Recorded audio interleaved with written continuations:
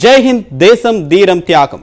News eighteen தொலைக்காட்சி வழங்கும் சிறப்பு நிகழ்ச்சி வங்கதேச விடுதலை போரின் வெற்றி கொண்டாட்டம் விஜய் திவாஸ்.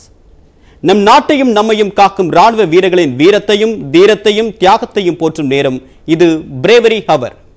இந்த வருடம் வங்கதேச விடுதலை போரில் இந்தியா பெற்ற மகத்தான வெற்றியின் ஐம்பதாம் ஆண்டு வெற்றி கொண்டாட்டம். நம்முடைய நியூஸ் எயிட்டின் தொலைக்காட்சியின் முன்னெடுப்பாக வீரர்களின் வீர தீர சாகசங்களை நினைவு கொள்வோம். இந்திய விடுதலைக்கு பிறகு தொடர்ந்து வந்த இந்தியா பாகிஸ்தான் போர் காஷ்மீரை முன்வைத்து இருந்தது. முதல் இந்திய பாகிஸ்தான் போரில் இந்தியா பெரும் வெற்றியை அடைந்தது. அண்டை நாடான சீனாவுடன் நடைபெற்ற போரில் ஏற்பட்ட தோல்வி இந்தியாவின் மதிப்பை உலகளவில் குலைத்தது. இந்தியாவின் மதிப்பை உலகளவில் மாற்றியமைக்கவும் நன்மதிப்பையும் பெறவும் அன்றைய இந்திய பிரதமர் நேருவும் அவருக்கு பிறகு வந்த இந்திரா காந்தியும் பெரும் முயற்சி செய்தனர். பாகிஸ்தான் கிழக்கிலும் மேற்கிலும் இரண்டு துண்டாக பிரிந்து கிடந்தது. மொழி இன அடிப்படையில் ஏற்பட்ட உள்நாட்டு சிக்கல்கள் ஒரு உள்நாட்டு போரில் வந்து முடிந்தது. இந்தியாவின் எதிர்காலத்தையும் உலக அரங்கில் ஏற்பட்ட பிம்பத்தையும் மாற்ற வங்கதேச விடுதலை போரை ஒரு நல்ல வாய்ப்பாக பயன்படுத்தி கொண்டார் இந்திரா காந்தி.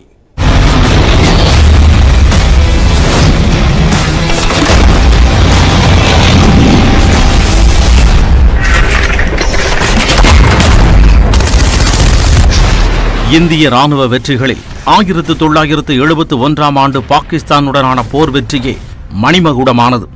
அந்த வெற்றியின் பலனாக வங்கதேசம் விடுதலை அடைந்தது. போரில் தலைமை தாங்கி வியூகம் வகுத்து செயல்பட்ட தலைவர்களில் கூர்மதிக்கு கிடைத்த வெற்றியே இந்த வெற்றி. இந்திய ராணுவத்தின் தலைவராக இருந்த சாம் மானக்ஷா விடுதலை போரில் இந்தியாவுக்கு வெற்றியை வழங்குவதில் முக்கிய பங்கு வகித்தார்.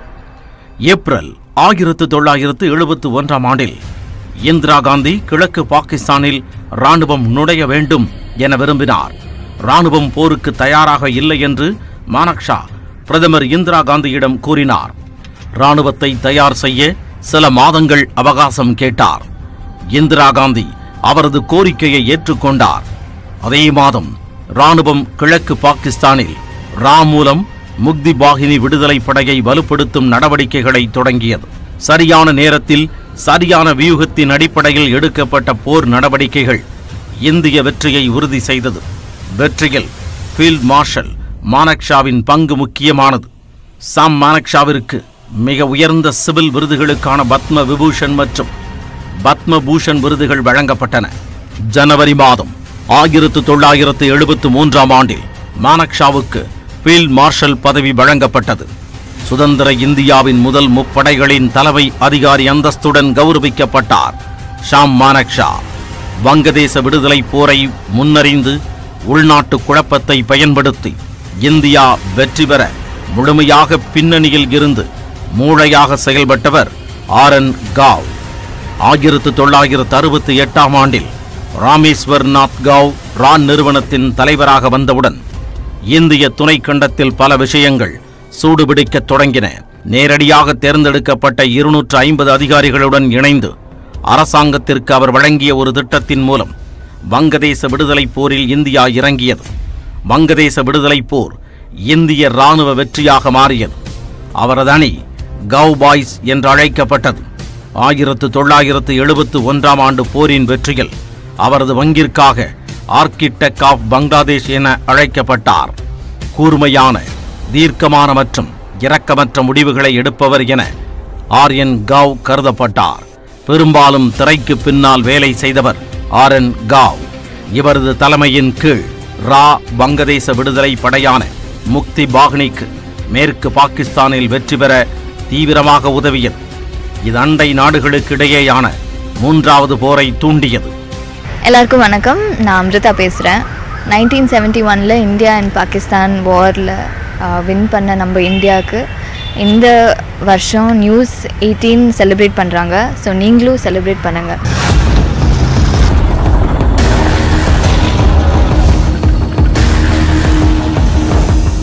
இந்தியா பாகிஸ்தானுடன் பல போர்களில் ஈடுபட்டு வெற்றி பெற்றுள்ளது.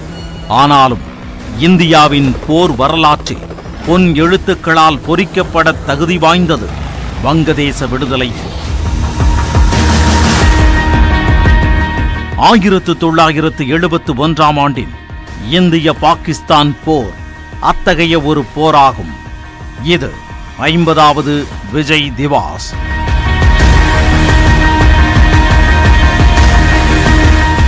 இந்தியா பாகிஸ்தான் போர் வெற்றியின் ஐம்பது ஆண்டுகளை இந்தியா கொண்டாடுகிறது.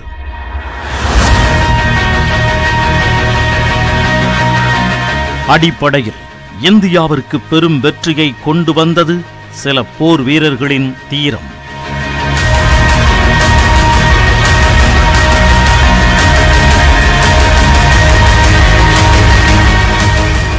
Second lieutenant Arun Khetarpal. பாசந்தர் போரில் ஒரு பெரிய டாங்கி மோதலில் டேங்க் கமாண்டராக இருந்தார். அவரது செயல்கள் குறைந்தது.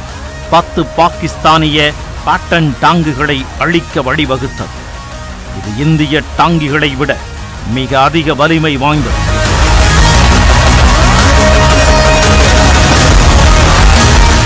இந்த போரில் இவர் பலத்த காயமடைந்தார். ஆனால் போர்க்களத்தை விட்டு வெளியேற மறுத்துவிட்டார் இறுதியாக தனது உயிரை இழப்பதற்கு முன்பாக மேலும் ஒரு பாகிஸ்தானிய பேட்டன் ரக டாங்கியை அழித்தொழித்தார் செகண்ட் லெப்டினன்ட் அருண் கேதர்பாலின் வீர தீர செயல்களுக்காக அவருக்கு பரம்வீர் சக்கரா விருது வழங்கப்பட்டது. இந்த வருஷம் is the 50th anniversary of the Pakistan war and the liberation of Bangladesh in the year 1971. Uh, my thanks to the members of the armed forces for keeping our country safe uh, and keeping my family safe and uh, giving us the freedom that we can do whatever we can under the umbrella of the security they provide. News எயிட்டீனில் நிறைய nineteen seventy ஒன்னோட stories நிறைய bravery stories நிறைய sacrifices பற்றி video காட்ட போகிறாங்க தயவு செய்து பாருங்கள் சப்போர்ட் பண்ணுங்கள் and my support will always be with arm forces of this country country ஜெய்ஹிந்த் ஒரு நாடு என்றால் எது? அதை கட்டமைப்பது எது என்பதை சில போர்கள் விவரிக்கின்றன. அவை ஒரு நாட்டின் வலிமையான தோற்றத்தை பிரதிபலிக்கின்றன. ஆயிரத்து தொள்ளாயிரத்து எழுபத்து ஒன்றாம் ஆண்டு இந்திய பாகிஸ்தான் போர். சுதந்திரத்திற்கு பிறகு இந்திய வரலாற்றில் ஓர் புகழ்பெற்ற அத்தியாயமாக இருந்து வருகிறது. தேசத்திற்காக போராடி வென்ற வீரர்களுக்கு அதைவிட பெரிதாக சாதிக்கக்கூடியது எதுவும் இல்லை. ஆயிரத்து தொள்ளாயிரத்து எழுபத்து ஒன்றாம் ஆண்டு போரில் பாகிஸ்தானுக்கு எதிரான இந்திய ஆயுத படைகளின் வெற்றியை நினைவுகூரும் வகையில் நாடு ஐம்பதாவது விஜய் திவாஸை கொண்டாடும் போது போர் வீரர்கள் மிகுந்த பெருமையுடன் போரை நினைவு கூறுகின்றனர். பாகிஸ்தானுடன் இந்தியா போருக்கு சென்றபோது நான் ராணுவத்தில் சேர்ந்து ஒரு வருடம்தான் ஆகியிருந்தது. நான் அந்த நேரத்தில் இரண்டாவது லெப்டினனாக இருந்தேன். ஆகஸ்ட் மாதம் நாங்கள் ஹல்த்வானியிலிருந்து பினாகுரிக்கு மாற்றப்பட்டோம். பின்னர் கிழக்கு பாகிஸ்தானுக்கு மாற்றப்பட்டோம். கிழக்கு பாகிஸ்தானில் உள்ள ரங்பூர் தனாஜ்பூர் செக்டரில் எதிரிகளுடன் போரிட்டோம். நவம்பர் மாதத்திற்குள் நாங்கள் கிழக்கு பாகிஸ்தானுக்குள் நுழைந்து விட்டோம் என்கிறார் லூதியானாவைச் சேர்ந்த எழுபத்து இரண்டு வயதான பிரிகேடியர் எஸ் எஸ் கில்.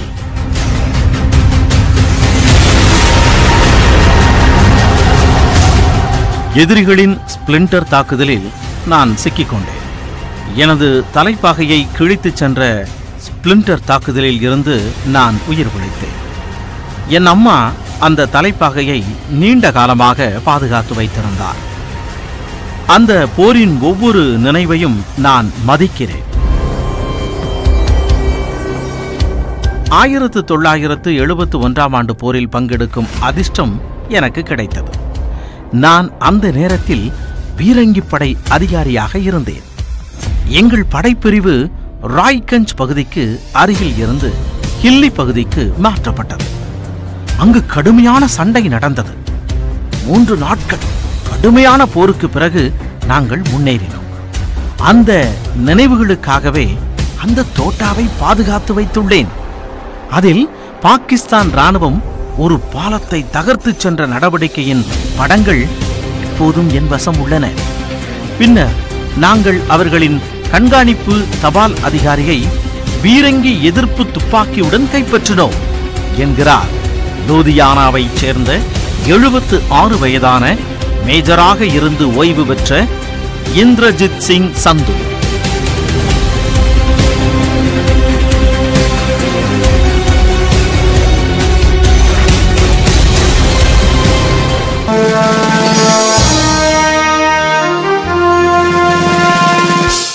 வங்கதேச விடுதலைக்காக உருவான முக்தி பாகினி படைகளுக்கு பயிற்சியும் உதவிகளும் அளிக்கப்பட்டன. சரியான நேரத்தில் இந்திய படையணி கிழக்கு பாகிஸ்தானுக்குள் நுழைந்தது. அதற்கு பிறகு புதிய வரலாறு எழுதப்பட்டது. ஒரு புதிய நாடாக வங்கதேசம் உருவானது. நேருவின் வழிகாட்டலில் அணிசேரா நாடாக உலகில் வலம் வந்து அமைதியான இந்தியாவின் பிம்பத்தை நிரந்தரமாக மாற்றி அமைத்தது வங்கதேச விடுதலை போர். இங்கிலாந்து அமெரிக்கா சோவியத் யூனியன் போன்ற வல்லரசுகளே ஒரு நாட்டை புதிதாக ஒரு போரின் மூலமாக உருவாக்கும் வல்லமை பெற்று இருந்தன எல்லை சிக்கல் மிகுந்த நிலையில் கிடைத்த வாய்ப்பை பயன்படுத்தி கொண்டு அன்றைய பிரதமர் இந்திரா காந்தி ஒரு பிராந்திய வல்லரசாக இந்தியாவை உருவாக்கும் முயற்சியை வெற்றிகரமாக துவக்கி வைத்தார். ஆயிரத்தி தொள்ளாயிரத்தி எழுபத்தி ஒன்று போரில் இந்திய ராணுவம் பாகிஸ்தானை ஒவ்வொரு முன்னணியிலும் தோற்கடித்தது. இதன் விளைவாக வெறும் பதிமூன்று நாட்களில் பாகிஸ்தான் மிகப்பெரிய அளவில் சரணடைய வேண்டியிருந்தது. இந்த நாளில் இந்தியா ஒவ்வொரு ஆண்டும் டிசம்பர் பதினாறாம் தேதியன்று விஜய் திவாஸை கொண்டாடுகிறது. இந்த ஆண்டு விஜய் திவாஸ் டிசம்பர் பதினாறாம் தேதி இரண்டாயிரத்தி இருபத்தி ஒன்று அன்று பாகிஸ்தானின் படுதோல்வி மற்றும் பங்களாதேஷ் விடுதலையின் ஐம்பதாம் ஆண்டு நினைவை குறிக்கிறது. பாகிஸ்தானின் மிகப்பெரிய தோல்வியை நினைவூட்டும் இந்த வரலாற்று புகைப்படம்.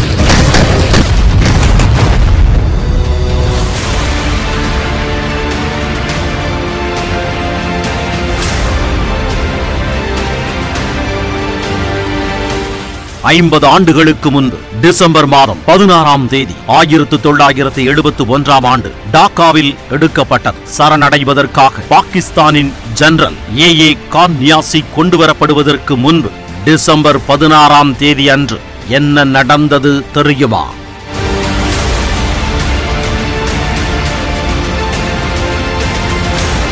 ஆயிரத்து தொள்ளாயிரத்து எழுபத்து ஒன்றாம் ஆண்டு வங்கதேச விடுதலை போரின் கட்டளை தளபதியாக இருந்தவர் இந்திய ராணுவத்தின் ஜே எஃப் ஆர் ஜேக்கப்.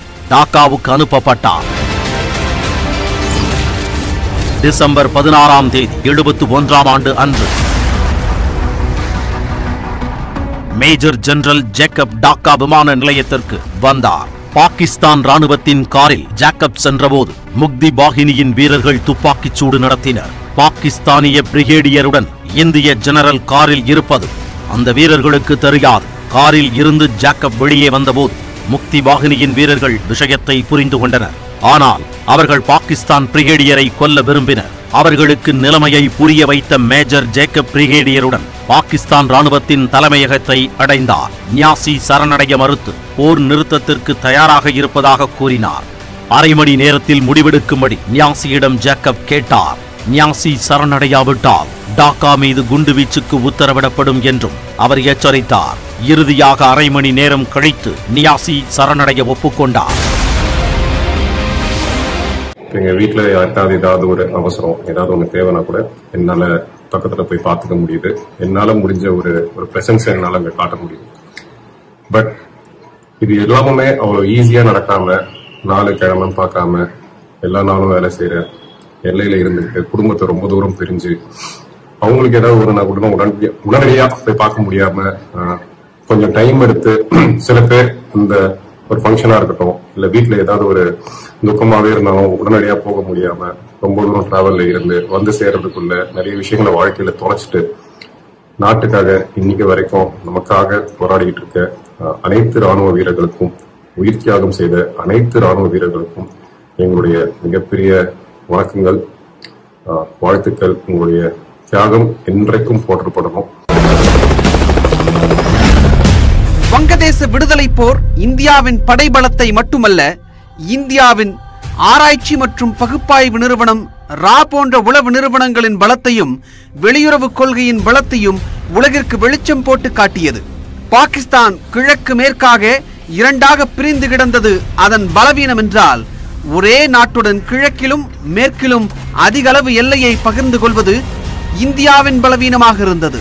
அந்த பலவீனம் உடைத்து எறியப்பட்டது வங்கதேச விடுதலை போரில்.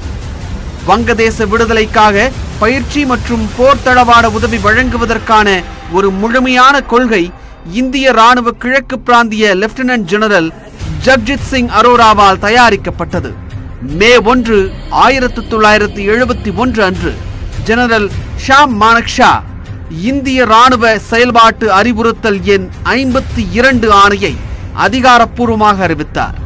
இதன் மூலம் முக்தி பாகினிக்கு பயிற்சி உபகரணங்கள் மற்றும் தளவாட ஆதரவை வழங்குவது இந்திய ராணுவத்தின் பொறுப்பாக மாறியது. வங்கதேசத்திற்குள் கொரிடா தளங்கள் உருவாக்கப்பட்டு ராணுவ பயிற்சியும் வழங்கப்பட்டது. அவற்றில் தங்குமிடம் உணவு மற்றும் மருத்துவ வசதிகள் வழங்கப்பட்டன. ஒவ்வொரு தளமும் ஒரு பெங்காலி அரசியல்வாதியின் வழிகாட்டுதலின் கீழ் செயல்பட்டது. பாகிஸ்தான் படைகளின் மன உறுதியை உடைத்து உளவியல் ரீதியாக வங்கதேசத்தை வலுப்படுத்த உளவியல் போர் நடத்தும் வேலையை அவர்கள் திறம்பட செய்தனர்.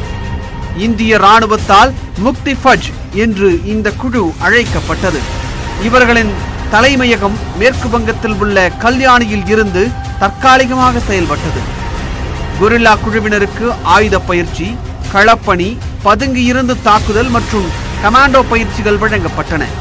தேவையான ஆயுதங்கள் வழங்கப்பட்டது. பாக்கெட் சைஸ் வயர்லெஸ் செட்கள் மூலம் நிமிடத்திற்கு குறைந்தது ஆறு வார்த்தைகள் கொண்ட மார்ஸ் குறியீட்டு செய்திகளை அனுப்பவும் பயிற்சி அளிக்கப்பட்டது.